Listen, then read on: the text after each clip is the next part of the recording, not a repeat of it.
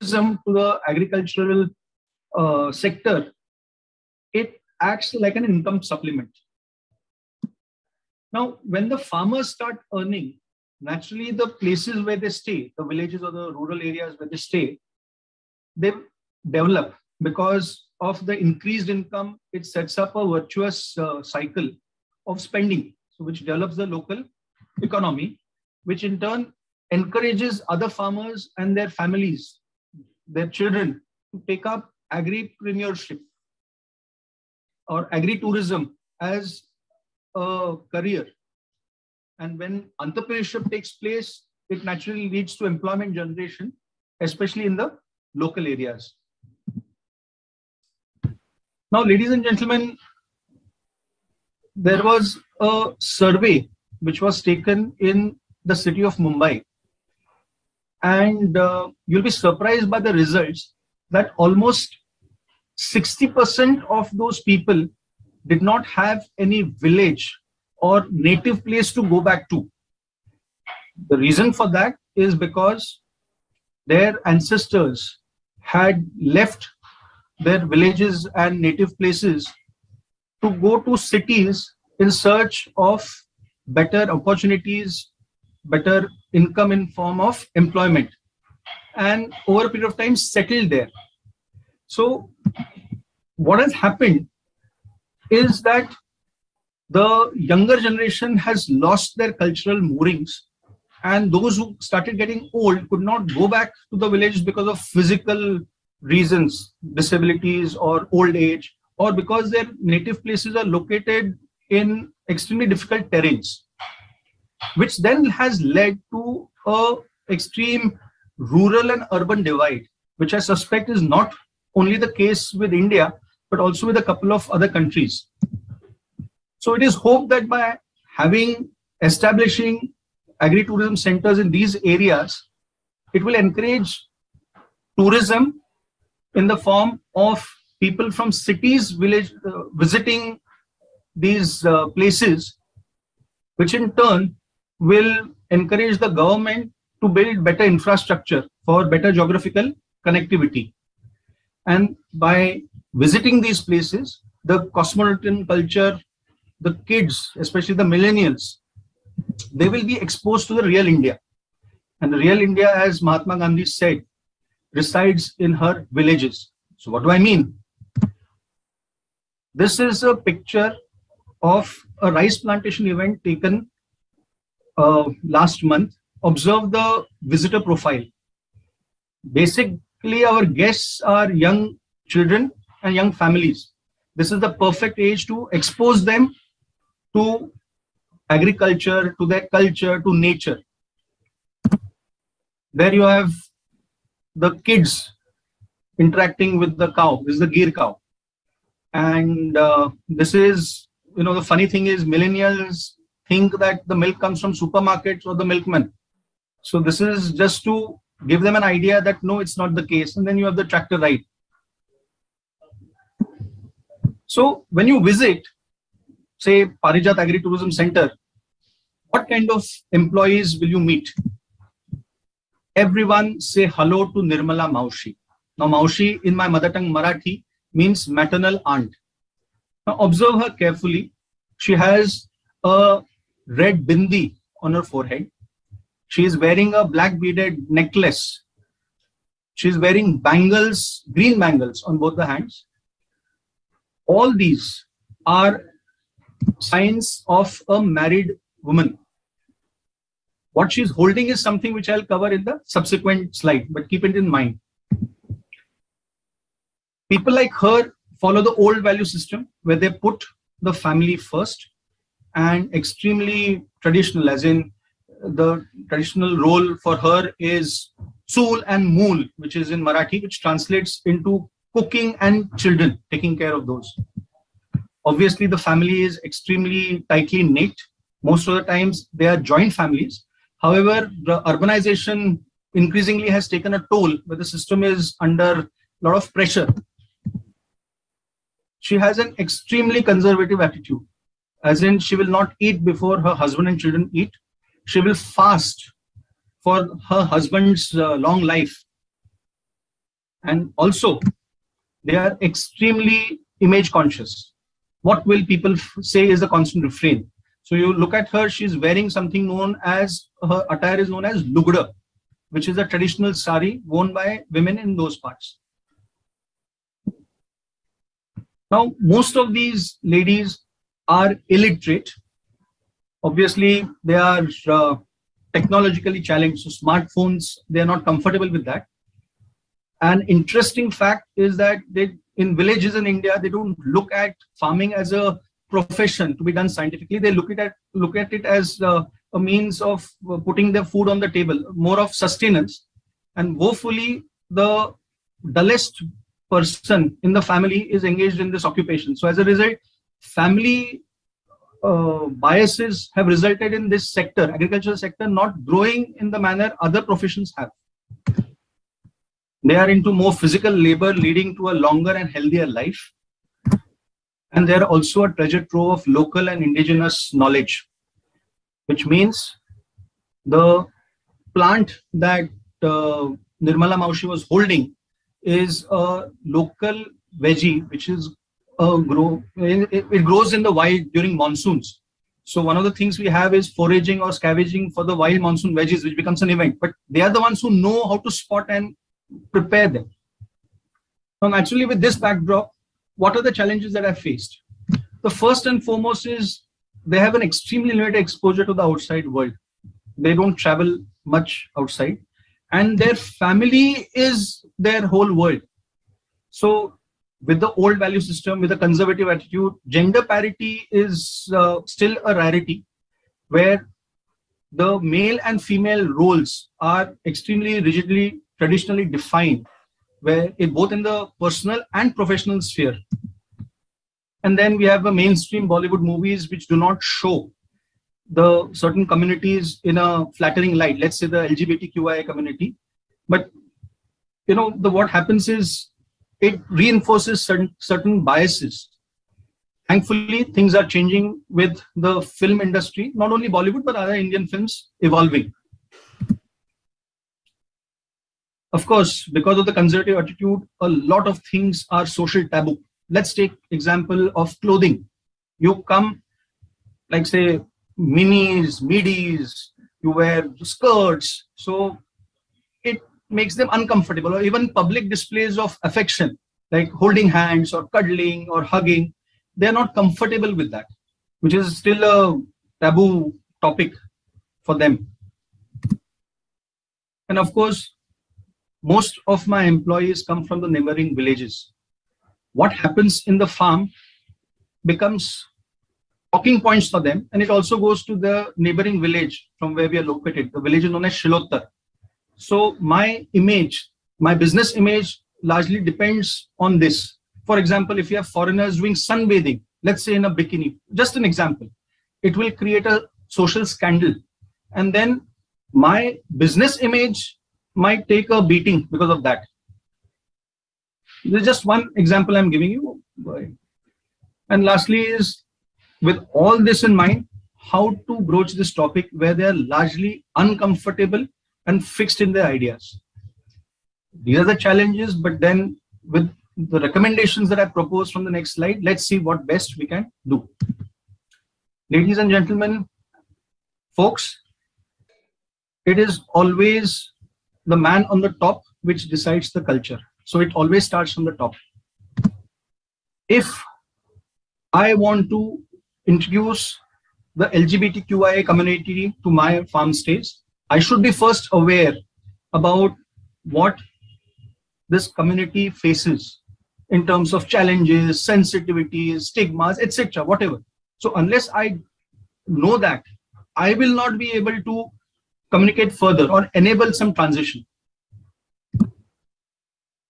I also need to build a rapport with my staff because only when they open up and speak with me. I will understand what's in their mind. Generally, people are wary about talking to hierarchy. But if you're you establish a certain rapport, understanding what where they're coming from, and conversationally speaking with them from time to time will make a difference. What also will make a difference is that if they understand that our history, culture, mythology has examples of, say, these communities, like say LGBTQIA or the third gender or whatever, they will understand it is not a concept which is alien to us. So it sort of normalizes. So drawing to a rich cultural heritage, mythology, history is a, a force multiplier. And of course, there is a saying which goes, if you are 10 steps ahead of society, you're a leader. But if you're 100 steps ahead of society, you're forgotten. Folks, any change, even it is from worse to better, involves inconvenience. So the important thing is how do you gently and slowly introduce that change, one baby step at a time. Let's take the example of breaking gender stereotypes. What we have started doing is you remember the tractor I showed you. Traditionally, the tractor is driven by a male. We are training our maushis, at least one or two of them, to drive the tractor. This sort of breaks the hegemony of males in driving it and gives them a new sense of confidence. There is another thing also which we are doing, which is covered in the next slide. You see me felicitating a lady with a white cap. It is known as a topi. The significance, social significance of topi is it is worn by the males of the house. It's a traditionally male attire. Now, one of the reasons why we make even females or we felicitate females with it in public is so that it reinforces our concept of male female parity and without raising any hackles. And it is done publicly in front of the staff. So subconsciously, the message also goes to them. So this is what I mean by doing it baby step wise. Most importantly, the media of communication is important. What do I mean when I say that? Let's say we are talking about uh, female hygiene issues, like say the menstrual cycle. I cannot speak on that with my female employees. They will be downright uncomfortable. But instead, if my wife speaks to them, they are more likely to be open to discussing these uh, issues. Which again brings me to the topic of involving professional agencies wherever and whenever required. Because even if I say owner has to be aware, I may not be the best man for the job or the best woman for the job. The point is that if you have people who are professionals who are aware of these topics, they will be a better fit to introduce it in the right way, where the resistance can be slowly overcome. In fact, I'm doing it right now in collaboration with the Mumbai based uh, agency, and the preliminary work is on the way. Everything else is theory unless it, it is put to the practical test. Ladies and gentlemen, the real test is when the rubber hits the asphalt. So how do we do that? Now at Parijat Agri-Tourism Center and Aditya Agro Farms, we have day events also and we have overnight stays also. So first, let's say I invite lady bikers to come for day events. So initially the novelty value is there and slowly once the staff see them and over events understand it is nothing very uh, scary or awkward then after doing this i can have these communities come and stay over slowly slowly unless you introduce them unless you make it a practical habit, it is all going to be largely on paper. And finally, we need to sensitize guests about the cultural sensibilities of the locals. There is a saying in my uh, native tongue, which translates into you can, if you want to clap, you need both hands. If you want to slap, you can do with only one. So it's a two way street while I am sensitizing my staff, the visitors, my guests should also be culturally sensitive.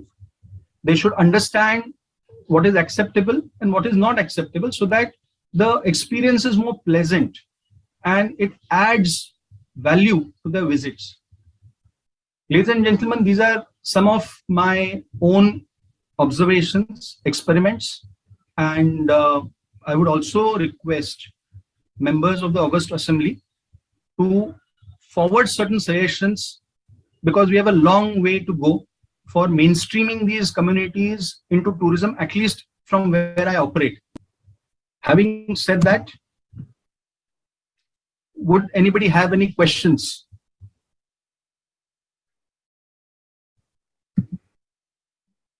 Thank you so much for being such a lovely audience. And while going, I would like to send you with a food for thought, which I believe is relevant in today's time. Life was much simpler when apple and blackberry were just fruits. I think we all will agree. Dhanyavad, folks. Thank you.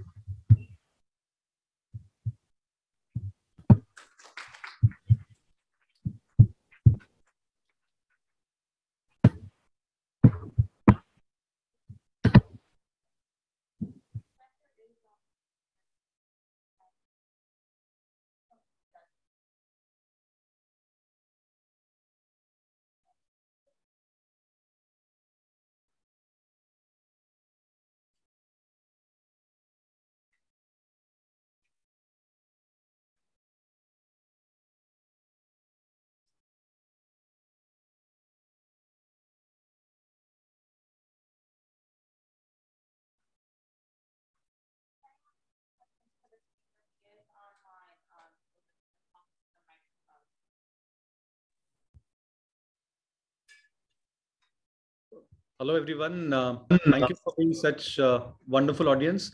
Uh, can we have you on camera, please? Uh, the ones who are on uh, virtual medium. It will be helpful.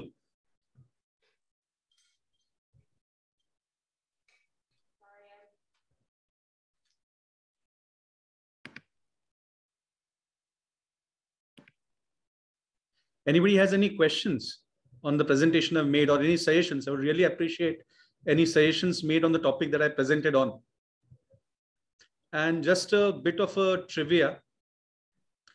Uh, the reason why you would see my PowerPoint presentation uh, slide having colorful fonts is because uh, my country is celebrating her 75th year of independence. It's a platinum jubilee.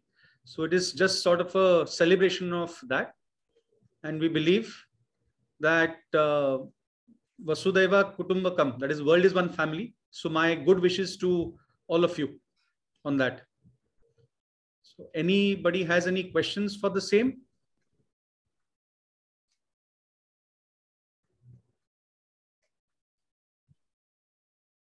Hello. Okay.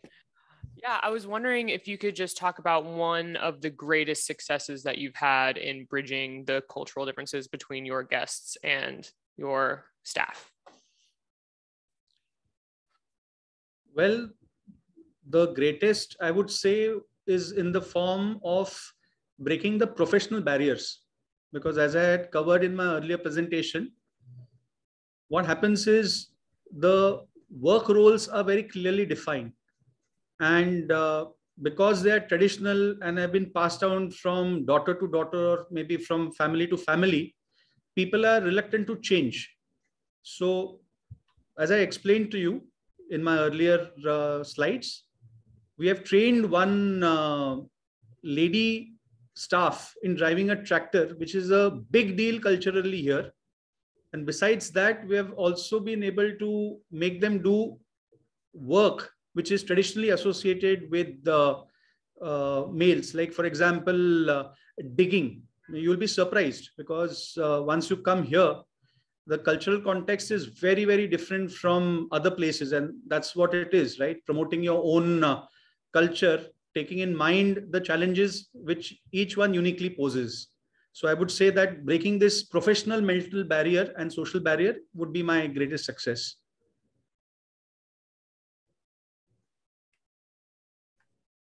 I hope I've answered your question. Yes, thank you.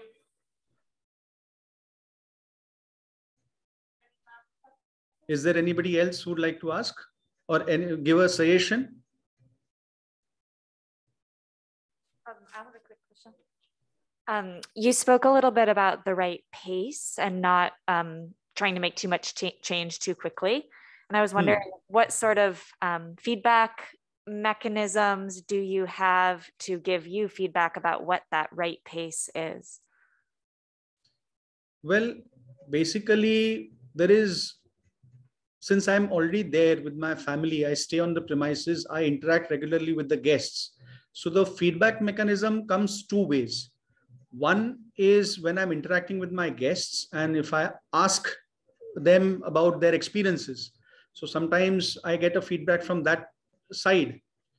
And the other one is through the farm hierarchy, as in uh, about the labor, there is a supervisor for the farm labor. About this farm supervisor is a manager. Now, generally, the supervisors are from the same village. So when they are working along with the uh, laborers, that time they generally talk. And it is through this medium that I come to know a lot of feedback about what, what they're comfortable with or what they are comfortable, not comfortable with. So based on this feedback, this is where I decide what pace to set. And then, of course, because I belong to the place, I am aware of the cultural sensibilities. So it's more of a, uh, what do you say? It's experimentation, as I said. There is no official mechanism, and I have to be very, very careful because these societies are very closely knit. So it's always better to err on the side of cautions, go slower than maybe faster. Thank you.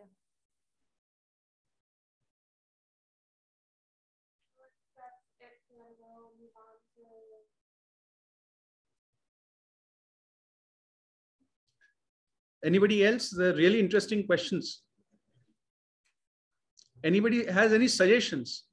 Because this kind of a topic is quite new where I am operating. So any best practices or any other uh, suggestions that you may have?